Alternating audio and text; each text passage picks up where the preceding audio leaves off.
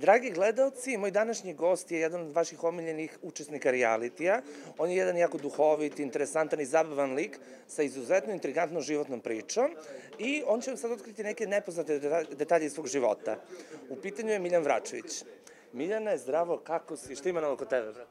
Ćao, čao, dobar dan, dobro sam, kako ste vi, evo, hvala vam na pozivu, pozdrav za vašu televiziju, pozdrav za tebe i za cijelu ekipu. Drago mi je da se pojavljuju nove emisije, zdrava konkurencija je tekako dobra i kvalitetna, znači program će biti za sve gledalce kod nas, tako da dobro sam, dobro sam, dobro sam, hvala Bogu, evo, radim svakodnevnica neka standardna i to je to. Kako, kako živiš, kako praviš dane? Po kako živim, kao, kako je svaki oženjen čovjek. Živim, radim, uh, radim, kao što znate, radim znači, u Zemunskoj bolnici kao vozač i radim pored toga još jednoj e, fenomenalnoj kompaniji, radim dva posla. Ja sam isticu uvijek da, znači, minimum dva posla se radim. Dobro je, stvarno se ne želim, jako lijepo živim i hvala Bogu, zdravo se, dobro se. Eto, to je znači, najbitnije. Znači, nisi se uzvezdio, nije te promenila ne, ta popularnost, radiš normalan posao, tako? Pa ja sam tu i govorio da mi nismo popularni, mi smo aktuelni. Popularni su velika imena, poput Čole, poput Gorana Bregovića, to su ljudi popularni, znači, ali mi, mi, mi smo samo aktualni, mi budemo trenutno aktualni u nekom vremenskom periodu zbog čestog pojavljivanja na televiziji i to se završava, mi ono kad izađemo, ako imamo svoj život, znači, ako imamo svoj život, mi se njemu vraćamo, ako nemamo, mi se vraćamo u reality, to je jako, jako lako ustanoviti ko ima život, a ko nema život, iako tamo pokušavaju mnogi da kažu, ja na polju ovo, ja na polju ono, a deset godina i više su reality. Prema tome, to na polju slobodno možete da zaboravite, jer taj vremenski period, deset mjeseci koji provedete unutra, napolju se promijeni, što malo u filmu Lajnera zvijezde, kaže, Bog je stvorio nas svijet za sedam dana, šta mi tek možda uradimo, a zamislite za godinu dana, šta, šta oni propuste, a konstantno se pozivaju na taj spoljni svijet. Zato i dođe taj disbalans u njihovim mozgovima kad izađu, kad se vrate i ovo. Na svake godine se ponovi znali, kao, oh, vidim, tako da je to to. Ti si, evo, sad si mi baš rekao, živim kao svaki ožen čovjek. I ja malo sam te istraživao i nađešao sam na naslov čerka Miljana Vračevića diplomirala. A ti si mi otudio, ti nije čerka, ne, ne, to je supruga, supruga moja. Koliko je ta žena mlađa, pa su mediji pomešali? Devet, devet godina, devet godina, nego je uradila neki malo bolji baleaž. Pa izgledamo za sad. Kako je u braku? Pa u braku je predivno. Pa najljepše, znate kako, znači, To je porodice temelj svega. Porodica je crkva, porodica je ono što nas drži. Porodica je nešto najljepše na svijetu. Znači, i dok god budemo uh, ostali u, u krugu porodice, u toj toplini doma i probleme i nedaće koje su potpuno normalne u ovom životu i Bog nam daje uvijek onoliko iskušenja koliko možemo da ponesemo. Ali kada je porodica dobra, kada ste svi na okupu, sve se lakše prebrodi. Sve i, a i više se uživa. U krugu porodice je najljepše. Uz dužno poštovanje svih ostalih, ali porodica je, porodica je temelj svega. Da, naravno, slažem se, zato mi baš reci, kako je izgledalo biti eto godinu dana odvojeno od ženi, kako je njoj bilo da si ti bio u Pa evo, iskreno da ti kažem, ovaj, e, nikad mi teže nije bilo u životu. Znači, iako sam ja ušao i kako spreman na to, nije mi prvi put, ušao sam u onako, znao sam šta me očekuje, ali toliki vremenski period odvojenosti od e, djece, supruge, e, prijatelja, kumova, drugova, dragih ljudi, ali prvenstveno djece i porodice je bio stvarno ovaj, ma pretežak. Ja se ja ne da se divim, nego neke ljude stvarno ovaj nesvatan koji ulaze po više puta, koji je to motiv ili šta je to što se desi čovjeku da se odluči da provede 4, 5 i više godina u, u, u realitiju, a da ima porodicu. Znači, ti ljudi su mi neshvatljivi. Znači, neshvatljivi. Ja to, ja ne znam, svaka čast, ko može, mislim svaka čast, ali ja nikad. Ja, ovo mi je bilo pretežak period pretežak. Ja mislim da mi nikad nije bio teži period u životu od ovoga. Znači, tvoja parola je nikad više u reality. Što da vam kažem? Pa ja u reality ne bi ušao sad da mi neko ugula, evo ovdje na paleti da mi ugura milion eura. Milion eura. Ma ne bi za deset. Ne, ne, jednostavno, e, e, gledajte, jedan dan e, proveden, jedan dan unutraš, unutrašnjeg mira, unutrašnjeg bogatstva je neuporediv sa bilo kakvim, kako da ti kažem, imaginarnim benefitima. Bogatstvo je stanje duha, a ne imovinsko stanje. Znači, bogatstvo je stanje duha. I tu, ako si smiren, spokojan, sve ćeš drugo lako. Jako, jako težak vremenski period. Iako smo mi tamo stvarno bili ispoštovani što se tiče i porodica, da nekom nešto ne fali vamo, tamo meni je dovedeno dijete kad je bio rođendan, to mi je jedan način, moment koji tim ljudima nikad ne mogu ovaj, da zaboravim, ali teško, teško, a da ne pričam u kakvom ste okruženju, s kim ste, s polu svijetom i nesvijetom. Znači, to je, to je, to je tek, to je neka druga tema, to je... Da. Otkriti sad nama, pošto ovo kao što sam rekao, ti imaš izuzetno interesantnu životnu priču, sad ti meni reci i gledalcima, šta je taj bio glavni cilj, glavna motivacija za ulazak u reality? Ja sam u reality e, prvi put ušao 2017. godine. E, ja sam rođen iz Sarajlija i negdje sam kroz e, svoj život, jer sam jako dugo radio sa pjevačima, a nostalgičan sam, dosta me proganjala, znači, dešavanja na, bišim, na prostorom bivše Jugoslavije. I onda sam uzeo jedan reper od 70. do 2003. godine, gdje sam počeo da se bavim jednom ozbiljnom pričom, da pišem šta se dešavalo, ali jedna neutralna priča. Jedna priča koja je stvarno onako realna i to me postaklo da uđem u reality, jer mi u prvom reality, prvi reality kada je se pojavio zadruga, znači prva, e, nismo znali u kakvom će smjeru otići. Otišlo je potpuno neku drugu temu. Ja sam ušao prvi put u reality da bi negdje ispromovisao tu moju priču, koja je, koju, s kojom sam pričao sa velikim zvijezdama i sa umjetnicima i Bosne i Hrvatske i Srbije, i znači sa svima, gdje su ljudi prihvatili i rekli da je to fenomenalno nešto. To mi je postaklo da mene, koji nisam nešto knjiženo obrazovan, uopšte da se uhvatim u košta, sa tim i krenuo sam da radim. Kome god uh, Iole ovaj, sam nešto ispričao o tome, bio oduševljen. Moj cilj cijele te priče je bilo, znači napisao sam, eto sad to je to došlo kao neka uh, ja sam to kao krenuo da pišem priču za svoju djecu, pa se to proširilo, pa vamo tamo došao sam jednog e, ozbiljnog materijala koji znači, uzima 33 godine, 33 godina prostorno bivše Jugoslavije, besmislice rata Jugoslavije na državu kao zemlja političkim uređenjem, geografskim položajem, besmislice razlike među ljudima po vjeri koži boje nacije na taj način gdje, se, gdje je to šizoidno, nego jedna uh, ljepota življenja, ljepota tih naroda i narodnosti gdje možemo svi zajedno živimo da niko nikog ne ugrožava kao što je danas tako. I neka znači e, priča koja stvarno je negdje protkana ljubavlju i, i, i jednim zdravim životom, ovaj, gdje možemo svi srećni da budemo, ako budemo zadovoljni sobom, da tako i zračimo. I stvarno jedna predivna priča. Međutim, ja kad sam otišao tamo, to je kao kada bi ja tamo to promovi, pričati, To je kao kad bi otišao u, u, u Budvu na jaz u avgustu mjesecu prodavao ski opremu iznemljivo motorne sanke. Možda bi neko uzeo motorne sanke da proba po moru, ali da e, prodajem kape, znači i ovaj, e, rosinjol skije. Znači to bi bilo potpuno absurdno. I onda kad sam izašao iz te zadruge prve, otišao sam kako sam otišao, ostoje tu negdje moja neka obaveza, ne neka nego obaveza da se pojavim ponovo, došao sam u zadrugu šest, odradio sam svoje, na obostrano zadovoljstvo, ispoštovani oni, ovaj, ja, mi svi zadovoljni, i to je to što sam znači da odradim, da imam čisto obraz prema ljudima, znači prema svim ljudima na ovom svijetu da imam čisto obraz, jer to mi je najbitnije. A kaži mi, eto ta čitava priča, koja se, tvoja životna, da li dalje imaš taj cilj, tu želju da to prikažeš kao neku knjigu, o, kao film? O, apsolutno, pa, to, pa evo da vam kažem iskreno, pored moje uh, porodice, što sam malo prepričao, znači moje supruge četvora djece, to bi bilo nešto uh, najviše što bi moglo da ostane za mene jer to je nešto što sam ja i tekako, ja sam imao tu sreću da radim sa pjevačima, obišao sam sve moguće, znači od kristalnih sala do nekih malih, kako se kaže, kafanica, uđerica, ono kad uđete lijepe vam se patike i upoznao sam jako puno ljudi na prostorima cijele bivše Jugoslavije i imao sam priliku da 15 godina se bavim time.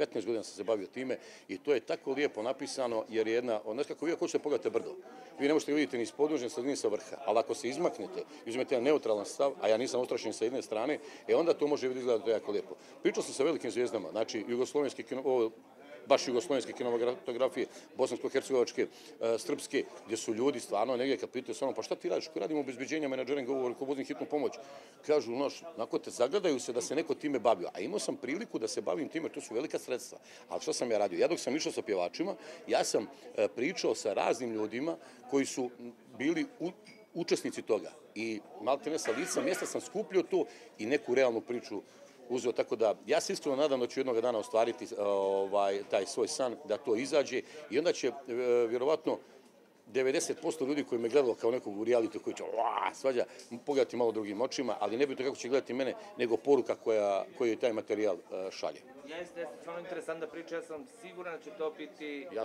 bestseller ili neki kid film blockbuster. Stop. Pa, ako Bog da. Moramo sad se vratiti na zadrugu, topno što je po čemu poznat. Ajde, pomenuo sam zadrugu jedan. Da. A, Ana Korać je bila neko... Za tebe pitan tu. Šta Ana Korać, Ana Korać, a, a, mislim svima sve najljepše. Nemam uopšte, ja sam hrišćanin, ovo je i a, prva nedelja Božićnog posta, neke svima nazdravlje i spasenje. Ja jednostavno, svako govori o sebi. Ja sam svima prišao, svima sam bio tu i uvijek će svima pomoći s ljudske strane, od Boga je pomoć, od Boga je blagoslov da možemo ljudima da pomognemo. Kako će to ljudi prihvatiti? Da li će oni to ovaj, prihvatiti kao dobro ili loše? To govori o njima. Ja ne želim nikom ništa loše, samom koraču nisam u kontaktu, djevojka se nikad ništa meni nije javila, ona je navodno čula da sam ja negdje nekom nešto rekao. Znaš, e, znaš, ja to prihvatam. Ja znam da li sam rekao, ona zna šta sam njoj rekao i- i šta i kad smo bili jedno drugom tu, ali nema veze. Znači, Ja- ljuta je na tebe, vratno. Ne znam, ne, ne znam da li... Ne, on je to meni rekao, mi smo se tad vidjeli, ali poslije došao, vidi, možda, ja nismo se čuli, možda djevojka ima udala se, ima obaveze, možda jednostavno hoće da, e, ja sam neko bio, dok, ko se družio s njom, ona je bila djevojka, mi smo bili veliki prijatelji, ja sam poznavao i njenoga pokojnog i majku i cijelu porodicu, možda je djevojka napravila neki korak novi u životu, još želim susreću ovog svijeta i njoj, i njenom e, ovaj, Simčiću i suprugom, su svi živi i zdravi.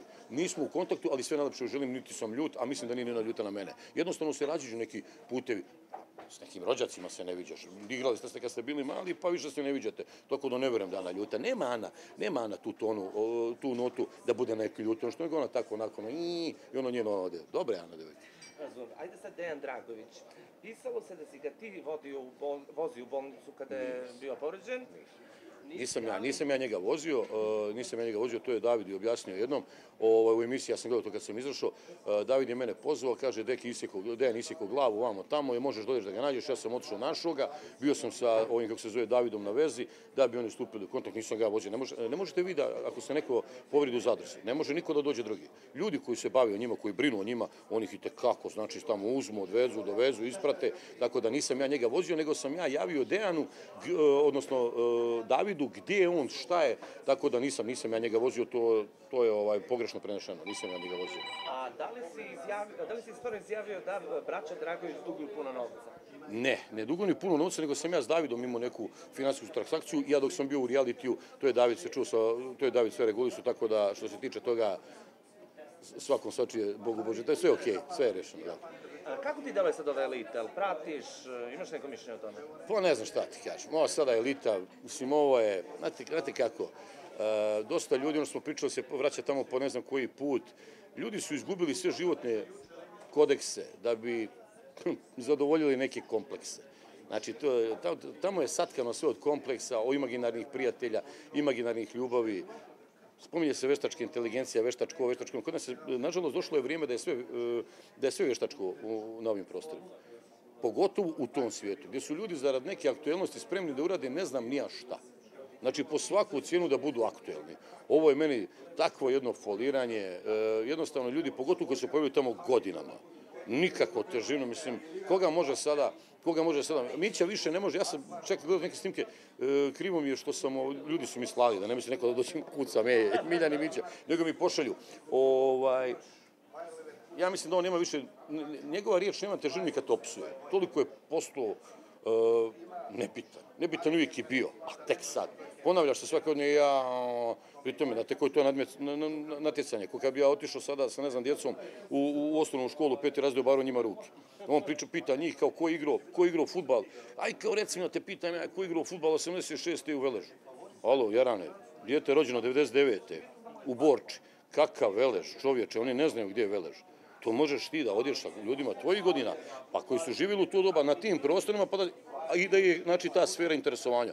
Imaš ti recimo nekih ljudi koji su iz Bosne 50 i neko godište, nisu pratili futbal i ne znaju. A imaš neke koji mnogo bolje poznaju. Miki je mnogo mlađi od njega iz skupina, ovaj toga zanima, pa može s njim oko toga, razumiješ? Ali oni su usko vezani za to. Gdje dalje? Nigdje koja god druga tema je bila, njih nema. Pri tome, tvoj životni uspjeh, ne znam ja da je kakav, pa ne bi 10 godina sjedio u Šimanovcima, Jarane.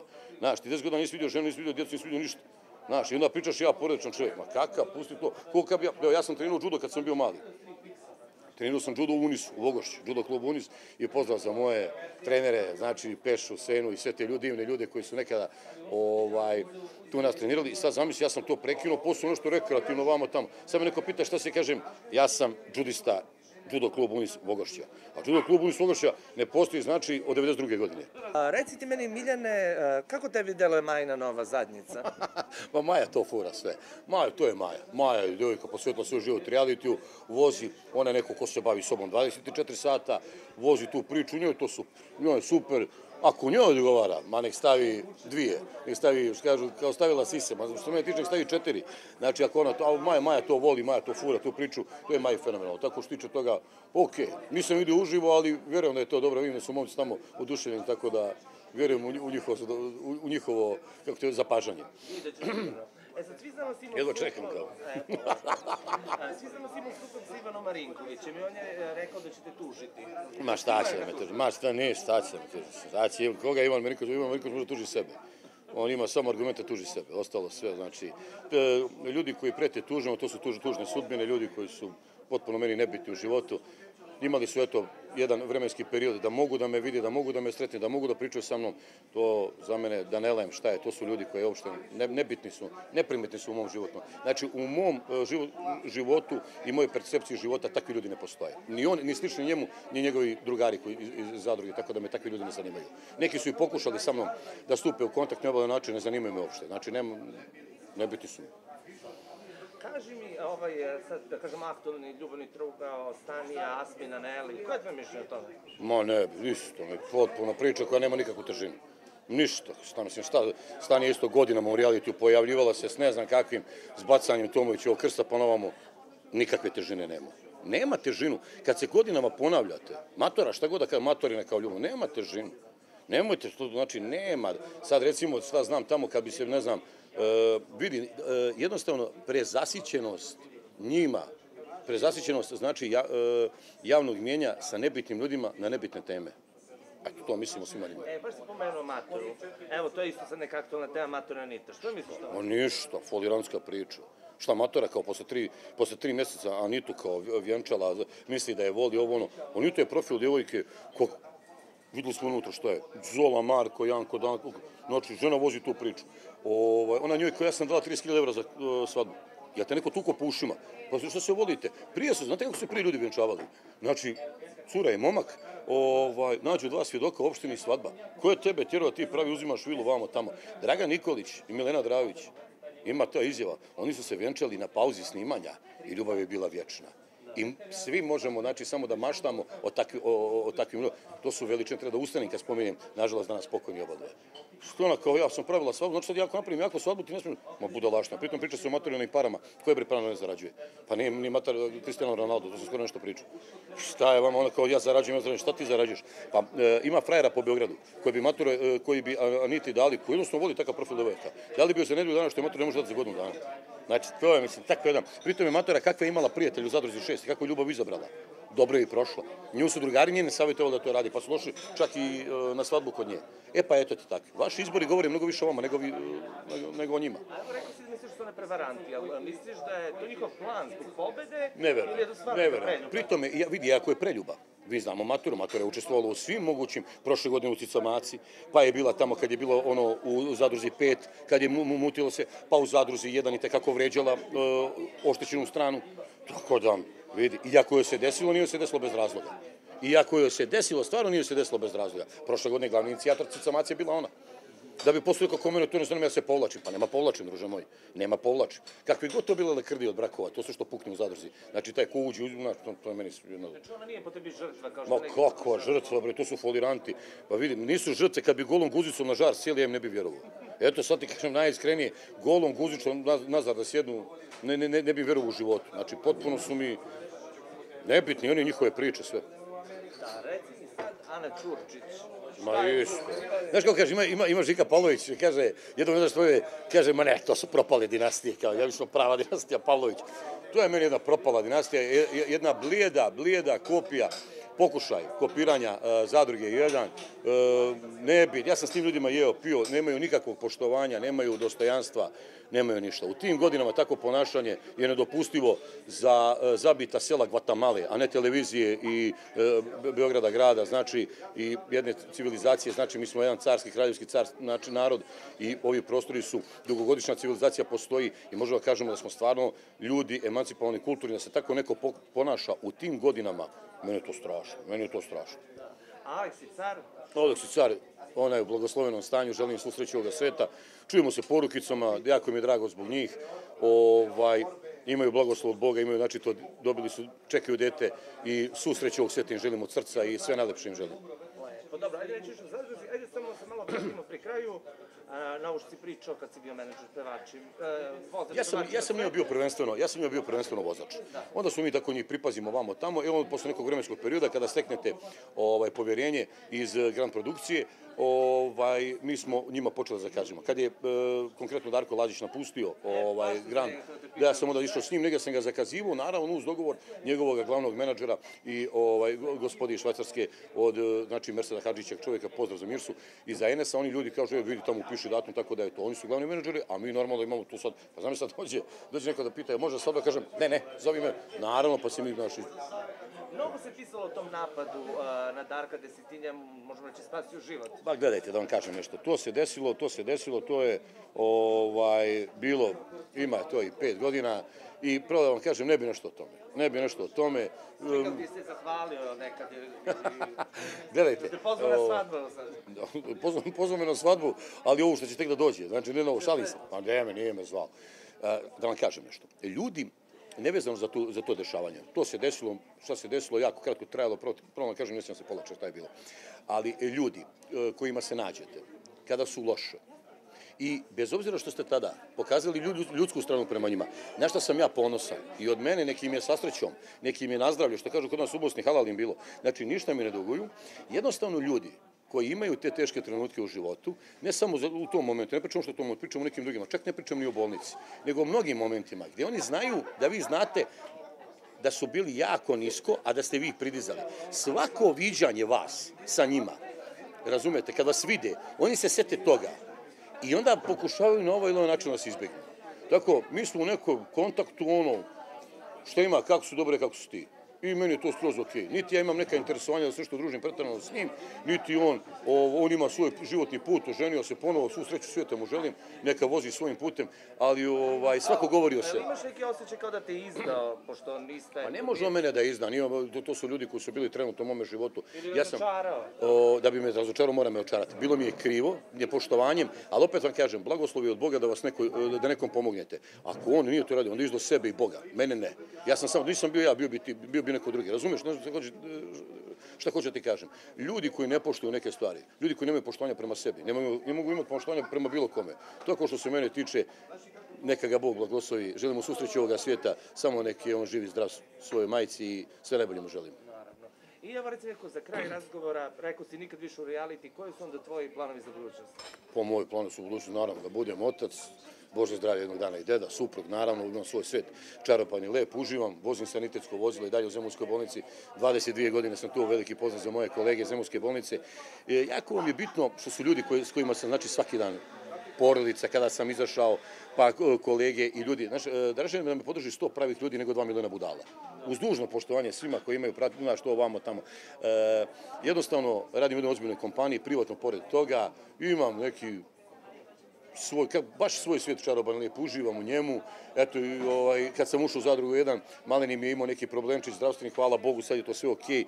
Idem, znači, treninzi, škola, jedan posao, drugi posao, porodica, vikendica, znači, ono, koliko god mogu da uživam, jer eh, na, najljepše smijeh, šala, zabava. Znači, šala za ljudi, kad bi se malo više smijali, mnogo bi im ljepše u životu bilo. Mnogo bi im ljepše u životu bilo. Svima želim susreći ovoga svijeta, reality, nikad više, to kažem vam, to mi je baš, baš jedan od najtežih perioda u životu, psihički, tako da jednostavno dozvolite nekim mediokritetima koji ne bi mogli u životu oko da sretno kažu ćao, da budu pan, ne pandam, oni misle su pandam i da vam se obrate na ovaj ili onaj način. Vjerujte, kad, kad, ovako kad bi sreli, ne bi primijetili. A tamo i tekako morate, to je, e, ja mogu kažem, moj brat Filip Đukić, meni jako lijepo rekao za novu godinu, kaže, nemoj trošiš energiju na takve ljude, nećeš ih sretiti nikad više u životu. I bio u pravu, ali eto, u tom momentu ja to nisam skapirao, tako da neke stvari su izvukli iz mene, ali opet to sam ja. Ništa, sve bi isto, e, stojim iza svega što sam rekao, iza svih svojih stavova.